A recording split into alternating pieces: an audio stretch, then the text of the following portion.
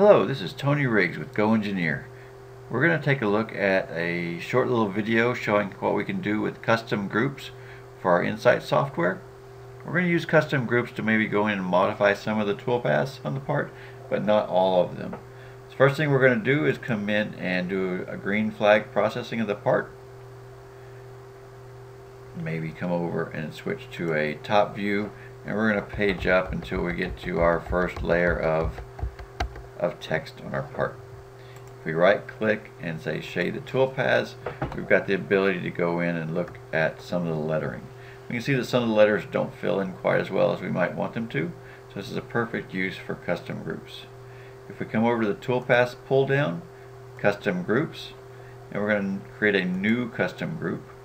And this first custom group might be called letters. And maybe we bump up the contour width just a little bit. Well, we've created the group, but we still need to come in and select some geometry and actually add it to that group. Now with this first icon, we can process the toolpaths on just one layer, or with this one, we can process, process it on the entire group. So we've got a little bit more of the letters filled in here, but the nice thing about the custom groups is we can go back in and modify that. Maybe that make that a 0.24 come in and say okay to that, reprocess that, fills in the layers just a little bit more.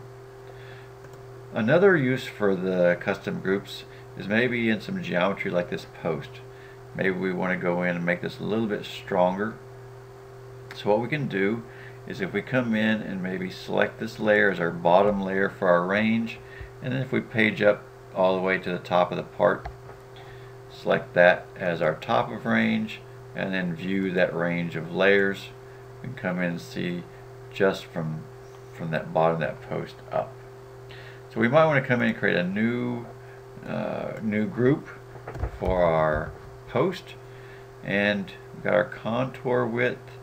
Um, we can come in and take a look at um, our geometry. Maybe not a single contour but maybe multiple contours maybe come in and put in four contours around the outside. We can come in and say OK to that. Again, we've created it, but we haven't selected anything for the group. Select just that tower, add that, and we'll process the layers on the entire group and see what we have done. So we've gone in and we've put four concentric rings around the perimeter of our part. And this might be useful if we were going to go in and say tap the inside of a hole. We might want to put some concentric rings around the inside so that it might tap a little bit better. Or in this case maybe we give this part a little bit better strength.